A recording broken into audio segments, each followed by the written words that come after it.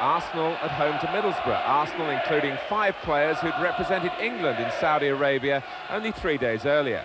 One of whom, Brian Marwood, delivered the corner, from which Paul Merson gave Arsenal the lead after 27 minutes. Merson was relegated to substitute at Newcastle, determined to make the most of another chance in the starting lineup.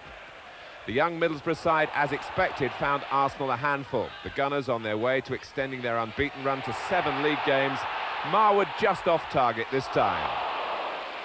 But a sixth win in those seven matches was virtually assured six minutes into the second half. Merson with his second goal at the second attempt.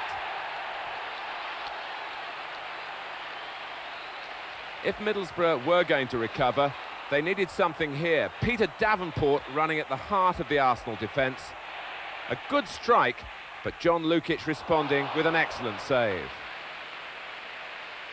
Arsenal so difficult to combat at set pieces. Merson on a hat-trick, remember, and so close to achieving it. This, incidentally, the eighth game of regular midfield man Paul Davis's nine-match suspension. But Kevin Richardson has been a very capable deputy, and he was denied a goal only by the crossbar.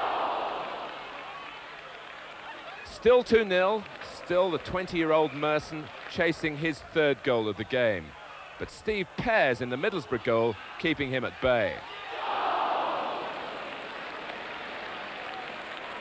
But there was one more goal to come, a breathtaking one too. David Rocastle in the very last minute taking on Middlesbrough single-handedly and rewarded with his third goal of the season. Arsenal, very good value for another three points.